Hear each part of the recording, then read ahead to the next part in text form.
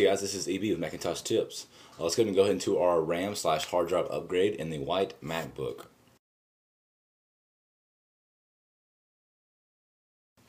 Alright, first thing you want to do is go ahead and shut down your Mac. You can do that two ways. One, either pressing down the power button and pressing shut down, or going to the Apple logo on the top left corner and shutting down your Macintosh.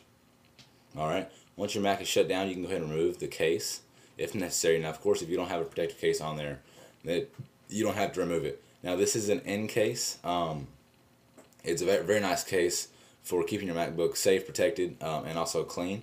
I'll put the link in the description bar over there if you guys are interested in these Incase cases uh, while I'm getting this taken off here.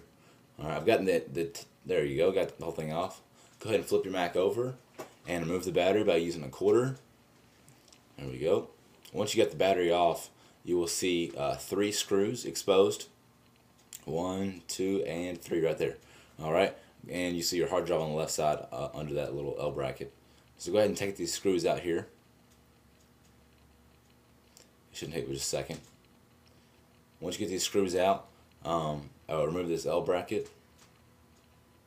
And the screws are actually in the L bracket. It has a little lip on the screw so you won't lose your screws, which is a very nice invention from Apple there. Alright, once you have the L bracket off, go ahead and pull that little lever over to the left and your RAM will pop right out. And that one kind of popped out hard. It'll pop out usually like this, and you just have to take two fingers and just pull it out easily. Just like that. Once you have your RAM removed, go ahead and look over to the left side, and you'll see a little white flap. Go ahead and pull that flap out, and give it a nice little, uh, nice little pull. It's in there. So give it a nice pull, and that's your hard drive. And this is the uh, one 120 gig uh, Macintosh Apple um, actually by Hit, uh, Hitachi, how do you spell it? Um, hard drive. Now go ahead and insert your new hard drive and push it in firmly. Just keep pushing it all the way. Alright, once you get that in, then go ahead and take both sticks of RAM. And uh, while, while this is going in, I'm going to go ahead and say that you're supposed to demagnetize your hands.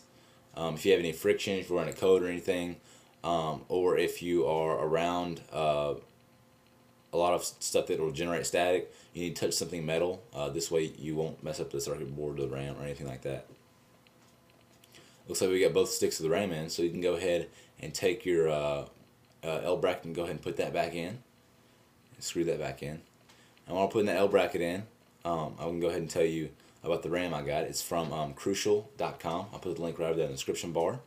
And uh, along with the link with the, with the Incase. Once you get the uh, door back on here, um, you can go ahead and put your battery back in. Lock it by turning to the left with the quarter. Make sure you got battery, uh, there you get some power on the battery. Flip your uh, Mac over and boot it up. I had to speed a lot of this video up, guys, just so it, uh, it would, uh, I could do it in a short period of time. That's a good sign that means the RAM is installed correctly. If you hear any beeping or you don't hear any noise at all, um, more than likely you put the RAM in wrong or it's the wrong kind of RAM. So uh, just uh, trace your steps back and redo it and it should work. Uh, you can go ahead and go to uh, app, the Apple logo and go to About This Mac and you can see there that that RAM is correct and we got a new hard drive in that computer. So that's that. Thanks for checking in. Stay tuned. Peace.